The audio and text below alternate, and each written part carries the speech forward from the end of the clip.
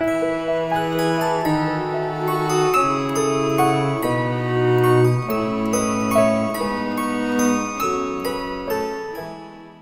arquiduquesa Leopoldina tinha vários irmãos e irmãs. Sua irmã Maria Clementina era apenas um ano mais nova que Leopoldina, tendo Leopoldina nascido em 1797 e Maria Clementina em 1798.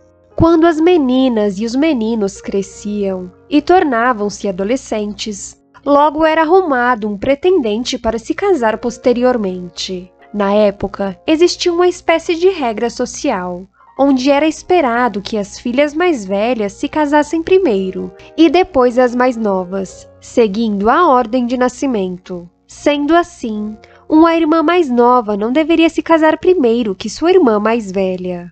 Antes de darmos continuidade ao vídeo, por favor, deixe sua curtida e se inscreva no nosso canal se ainda não for inscrito.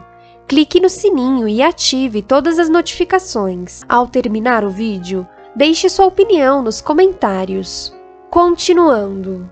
A mãe das arquiduquesas Leopoldina e Maria Clementina chamava-se Imperatriz Maria Teresa de Nápoles e Sicília e havia falecido em 1807. Acontece que Maria Teresa tinha um irmão chamado Leopoldo, e foi acordado entre as casas dinásticas que o príncipe Leopoldo de Nápoles e Sicília poderia escolher entre suas duas sobrinhas com quem ele gostaria de se casar.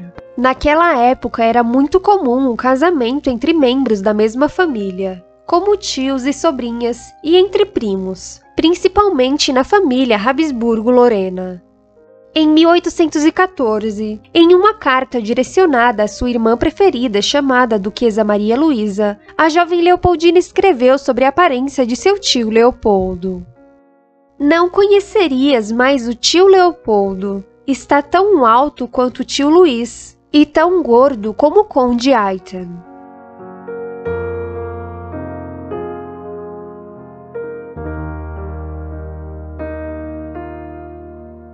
Em 1816, o príncipe Leopoldo, de 26 anos, pôde dizer ao imperador Francisco I da Áustria quem escolheria entre as duas moças, a arquiduquesa Leopoldina, de 19 anos, ou a arquiduquesa Maria Clementina, de 18 anos. Era esperado pela sociedade que ele escolhesse a irmã mais velha, mas o príncipe Leopoldo acabou escolhendo sua sobrinha Maria Clementina. Essa decisão deixou Leopoldina um tanto quanto desapontada por vários motivos. Não que Leopoldina gostasse de seu tio, ela o suportava, mas a arquiduquesa sabia que era esperado que a mais velha se casasse primeiro. A arquiduquesa não tinha muitos bons pretendentes, e o príncipe da Saxônia não havia gostado de sua aparência. Leopoldina temia ficar solteirona para sempre, Além disso, a jovem Leopoldina sabia que quem se casasse com o tio Leopoldo moraria na Europa e poderia ter a oportunidade de ver em muitos eventos a duquesa Maria Luísa, que era sua irmã favorita.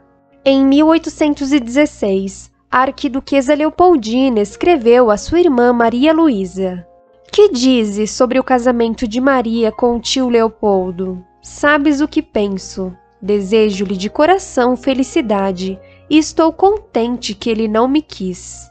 A arquiduquesa Maria Clementina era uma moça muito quieta e retraída. As irmãs sempre conversavam abertamente uma com as outras, mas Maria Clementina era diferente. Em uma carta, Leopoldina cita que Clementina havia guardado o segredo de que ela havia sido a sobrinha escolhida pelo tio Leopoldo. A carta foi enviada ao seu pai, o imperador Francisco I, e com seu pai Leopoldina não conseguia e não podia ser tão sincera e aberta, como era nas cartas enviadas sua irmã Maria Luísa. Fiquei sabendo com imensa alegria pela Maria, que ocultou o segredo até agora, que ela vai se casar com o tio Leopoldo.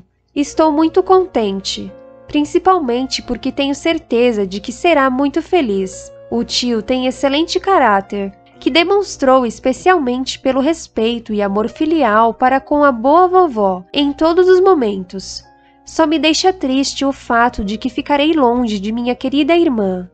Assim, meu maior empenho será compensar a ausência das minhas duas irmãs com o meu amor filial e cuidado. Querido papai, e se eu conseguir, minha felicidade está completa. Parece que após a escolha do tio, Leopoldina ficou chateada e aconteceram alguns desentendimentos no palácio. Em uma carta, Leopoldina foi repreendida por sua irmã e respondeu: Amada Luísa, prometo-te nunca mais dizer a Maria nada de irônico sobre o tio. Na maioria das cartas escritas por Leopoldina em 1816, ela fez algum comentário citando os noivos Leopoldo e Maria Clementina. A Maria recebeu uma carta do noivo, escrita por outra pessoa, mas com assinatura de próprio punho dele. A arquiduquesa mantinha Maria Luísa informada sobre as datas de noivado e casamento de Maria Clementina e Leopoldo. Amada, querida Luísa, o tio vem no dia 30 e o casamento ainda não está marcado. A futura imperatriz do Brasil sempre comentava em suas cartas que sua irmã Maria Clementina era uma pessoa muito calada e cheia de escrúpulos, ou seja, receosa. Aparentemente, Maria Clementina era muito discreta, sendo muito difícil conseguir alguma informação sobre sua vida pessoal.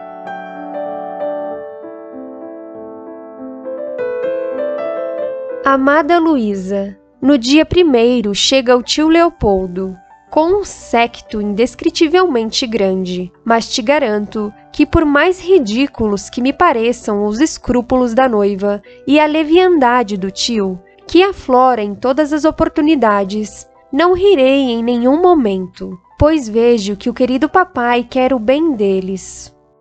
No domingo acontecerá o pedido solene da mão da noiva e acho que o tio, pelo que pude arrancar dela, logo estará aqui. Acho que receberás uma visita dele durante sua viagem de vinda para cá.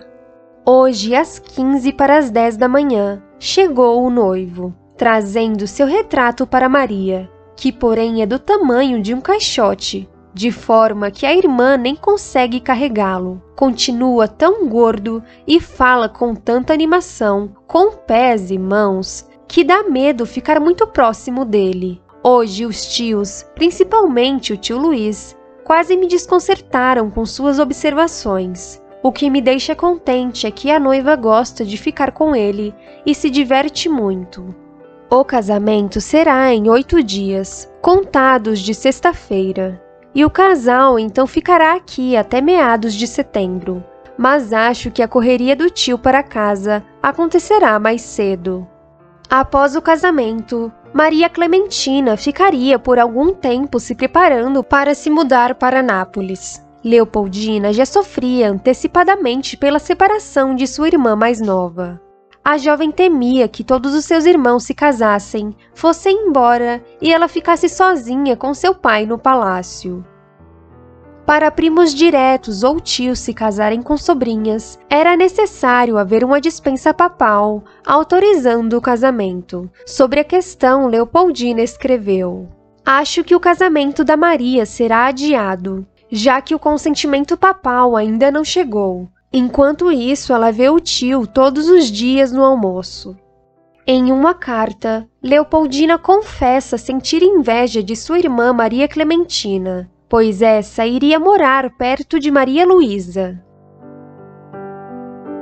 Amada Luísa, como invejo a Maria, que talvez logo te reencontre. O casamento da Maria será no domingo, porque a autorização já chegou. Ela está, segundo suas próprias palavras, totalmente surpresa. Porém, o tio mal pode esperar. Acho que ele está ficando cada vez mais gordo e me contou que pesa 300 libras, ou seja, 136 quilos. No dia 28 de julho de 1816, o príncipe Leopoldo e a arquiduquesa Maria Clementina se casaram no Palácio de Chambrun. Sobre o evento, Leopoldina detalhou: Amada Luísa, perdoa-me, minha caríssima, se te escrevo só um pouco, mas em todos esses dias não tive praticamente nenhum momento livre. Porém, cumpro a minha promessa e faço-te a descrição do casamento da irmã Maria, que foi anteontem. Todos nós pusemos os mais bonitos possível. Apressamo-nos às sete horas para a capela que estava magnífica, e ali foi celebrado o casamento, seguido de um terdão de Igebland de meia hora. Depois houve a recepção na corte, onde todos os embaixadores e enviados me foram apresentados. Isso durou meia hora, e a Condessa Lazansky e o querido papai ficaram muito satisfeitos comigo, achando que fui extremamente amável mas que selo para que saibas, minha boa velha irmã, como sigo fielmente teus conselhos. Durante o banquete que se seguiu, o calor era tão horrível que todos nós ficamos com resfriado e tosse. No dia seguinte foi a missa do sacrifício. Não posso te dizer quão estranha Maria me parece como esposa, pois quase não fala com o príncipe Leopoldo e é cheia de escrúpulos. Darnault disse-me que tem suas dificuldades em arrancar alguma coisa dela. Fora das refeições quase não a vemos, nem o querido papai, que me permite estar bastante com ele.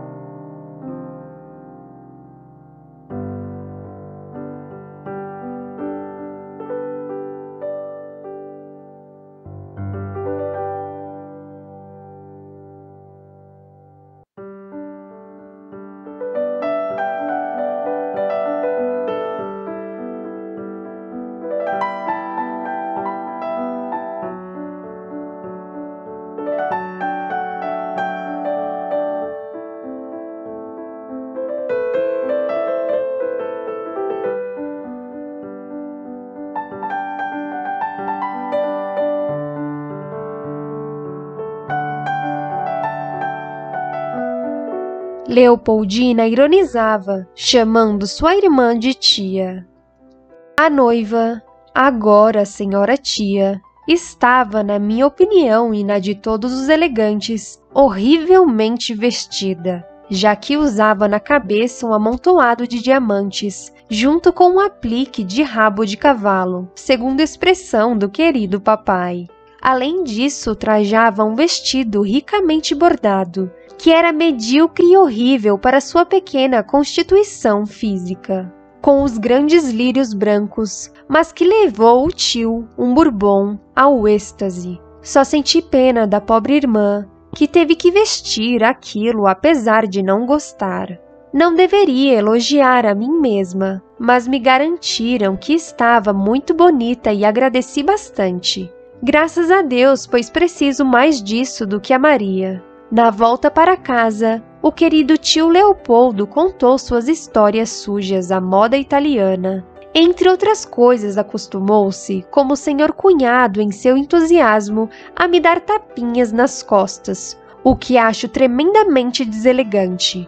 Em Viena corre uma anedota excelente. Alguém perguntou o que fora o presente de casamento do querido papai para Maria. E o outro respondeu: Não sabes que a arquiduquesa ganhou uma preciosa bagatela de Nápoles? Em alusão à obesidade de Leopoldo. Morri de rir quando a condessa Lazansky me contou isso. O casal continuou morando no palácio após o casamento, e parece que aconteceram algumas desavenças entre Leopoldina e seu tio Leopoldo.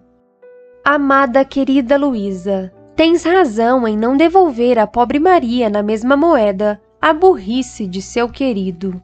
Deus queira que ela seja muito feliz com ele. Até hoje nunca vi tal formalidade entre marido e mulher, pois falam muito pouco entre si, de forma que o querido papai sempre tem que falar muito por eles. Após o casamento, Maria Clementina, que já era uma pessoa calada, tornou-se mais fechada ainda.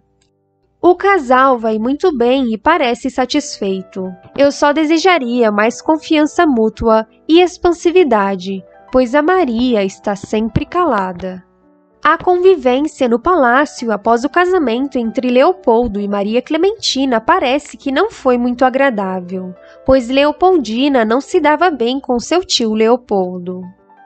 Entre a nova tia e o tio reina uma certa formalidade que não me agrada. Além disso, houve uma cena de ciúmes que já me contaram, pois não quero ver nada e a Maria nada diz. Assim, tenho que ficar sabendo de tudo pela sua gente e a sua preceptora superior, a princesa Deicole, que me parece uma mulher muito boa e bastante culta, mas que fala um francês tão horrível que faz o meu parecer excelente. Aconselho-te, minha boa irmã, a escrever cartas muito a Maria, já que, como ela me disse, o tio lê tudo o que ela recebe e escreve, e corrige também. Me contou que até acha isso gentil, porém desagradável. Vemos bastante o casal, e como gosto muito da Maria, até saio um pouco com ela, embora a companhia italiana não me seja agradável. O tio não ousa mais me fazer de boba, porque o querido papai aconselhou-me a não suportar mais uma coisa dessas. Teu filho é encantador, cada vez mais sensato, mas não suporta Carolina nem o tio pois é uma tortura constante. Admiro sua paciência, sem a qual os dois já teriam, há muito, recebido algumas milhares de bofetadas. Na carta anterior, Leopoldina se referia ao filho de Maria Luísa, que morava no palácio com sua família paterna em Viena. Também cita que sua irmã Carolina e o tio Leopoldo sempre irritavam o pequeno Napoleão II. Nos siga no Instagram e curta nossa página no Facebook. Em diversas cartas, a arquiduquesa Leopoldina fala mal de seu tio Leopoldo e conta sobre suas frequentes discussões e brigas.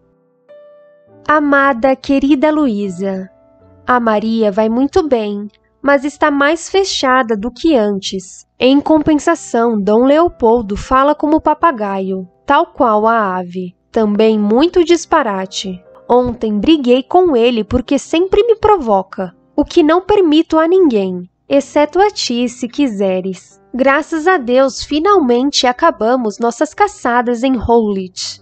Diverti-me muito com o papai e o tio Luiz, que estava encantador, mas não cacei quase nada além de um veado, porque não acho decente para uma mulher. E o querido papai me deu razão. Em compensação, porém, o ilustre casal caçou com tal paixão que a Maria ao todo deu 600 tiros e o tio mais de 10 mil durante três dias. Ambos estão com os rostos marrons e vermelhos do chumbo e da pólvora. Pensei em ti, minha boa velha irmã, que seguramente terias feito como eu. Teu filho está excelente e é encantador, embora ontem, depois do almoço, tenha estado muito zangado. Mas não poderia ser diferente, depois que o tio Dom Leopoldo e a Carolina só o provocaram. Ontem lhe disseram que sabiam que ele não te suportava. Ambos receberam, porém, a prova de que aquilo não é verdade dois apreciáveis golpes de sabre de madeira e a garantia de que ele te ama muito e gostaria que estivesses aqui para pôr um fim àquelas provocações, o que seria extremamente necessário, pois por mais que faça meus sermões ao querido papai, eles continuam a fazê-las, mas a ti eles respeitariam mais. Já em uma carta enviada à sua outra tia, irmã de Leopoldo, chamada Maria Amélia, Leopoldina se contradiz em alguns trechos e fala bem do tio, tendo em vista que seria deselegante a arquiduquesa falar mal de seu tio para algum parente.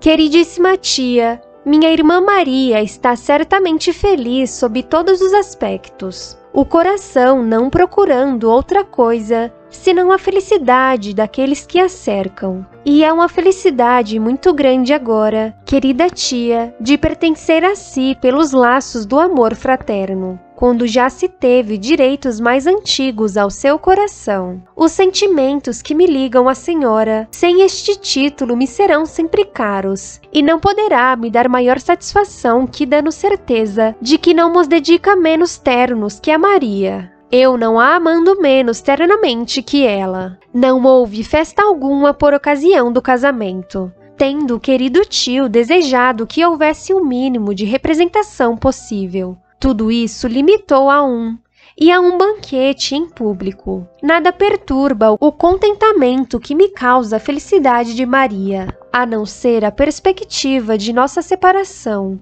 que eu vejo aproximar-se com dor. Atualmente nos vemos diariamente, jantando e ceando juntos em casa de papai. O querido papai teve durante alguns dias uma tosse bem forte, que ele pegou nas caçadas. As que realizou em Howlett foram bastante divertidas e, sobretudo, bem felizes para mim. O querido papai tendo me permitido acompanhá-lo em uma viagem de Kalesh. Maria foi com o querido tio. Uma das primeiras pessoas a saber que Leopoldina iria se casar com o príncipe português Dom Pedro foi justamente o tio Leopoldo. Isso deixou Leopoldina chateada, pois queria que a primeira pessoa a saber sobre o casamento fosse sua irmã preferida, Maria Luísa. Amada, querida Luísa, o que contudo mais me magoa é que Dom Leopoldo soube logo de início e não tive permissão para te escrever, mas assim são as coisas. As pessoas rudes e tolas são sempre mais valorizadas, e as quietas e sensatas sempre as últimas. O casal ficará provavelmente todo o inverno aqui, e alegro-me pela Maria, mas gostaria que o tio fosse logo embora. Porque tagarela demais e é tão arrogante que não se pode mais falar com o querido papai. Além disso, vive insultando os alemães, o que o torna bastante impopular. O filho de Maria Luísa e Napoleão Bonaparte morava com Leopoldina, seus irmãos e o imperador Francisco no palácio. Segundo os relatos da própria Leopoldina, o príncipe Leopoldo sempre provocava o pequeno filho de Napoleão e Maria Luísa. Amada querida Luísa, teu filho está excelente, mas quase não o vemos porque Dom Leopoldo provoca tanto que o querido papai teme que possa se tornar malvado. As brigas entre tio e sobrinha não paravam. Dom Leopoldo me irrita diariamente e diariamente discuto com ele, porque quer provar que Parma pertence à rainha da Etrúria. E no final ainda convencerá o querido papai, se não fosse a coitada da Maria, seria mais sensato que ele voltasse para casa. Em muitas cartas, Leopoldina debochava de seu tio e falava sobre as roupas de sua irmã Maria Clementina. Ontem, porém, recebi um relatório da tia Henriette. Contou-me que Dom Leopoldo dançou tão bem que toda a sociedade quase morreu de rir. A Maria que me dá realmente pena. Estava vestida como um inca, diz tio Luiz, um assunto magnífico para as línguas ferinas se afiarem. No final de novembro de 1816, Maria Clementina se mudou junto com seu esposo para a Itália. A moça, diferente de suas irmãs que sempre mandavam cartas, não enviava notícias, o que deixava todos curiosos para saber como estava indo seu casamento e sua recepção em seu novo lar. A frieza de Maria Clementina a deixava mais distante ainda de seus parentes.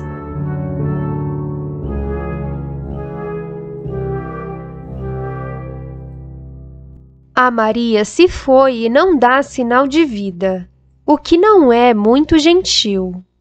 A Maria me escreveu hoje de casata que vai bem e está se divertindo muito. A Maria me escreveu de casata e parece não estar se divertindo mais, mas não poderá viver sempre como monja. Incluí-lhe ânimo, como irmã que a ama muito, e não gostaria que ficasse ainda mais infeliz por suas cartas exaltadas. Acredita, como se sente enganada, me escreveu que não gosta de lá, mas uma vez que seu destino é viver em Nápoles, tem que melhorar e ser firme. A Maria vai bem, já me escreveu duas cartas bem longas, mas também cartas indiferentes. Deus permita que um dia derreta o gelo. Por fim, Leopoldina faz uma observação sobre sua irmã e termina. Amada Luísa, é insuportável como a Maria é fria. Não mostra simpatia alguma. O que sabemos, segundo os livros de história, é que o casamento da arquiduquesa Maria Clementina e do príncipe Leopoldo não foi feliz. Eles tiveram quatro filhos, mas apenas uma chegou à idade adulta. Além disso, o príncipe Leopoldo traía sua esposa, acabando por engravidar a famosa bailarina austríaca Fanny Eisler. Sabemos que Maria Clementina, assim como seus parentes, possuía uma saúde frágil e por essa razão voltava à sua terra natal para se tratar. Entretanto, algumas fontes citam que Maria Clementina fingia estar doente algumas vezes somente para ir à Áustria e ficar o maior tempo possível longe de seu marido, sempre dando desculpas e dizendo estar doente. E aí, o que você achou dos relatos da arquiduquesa Leopoldina sobre sua irmã Maria Clementina e seu tio Leopoldo?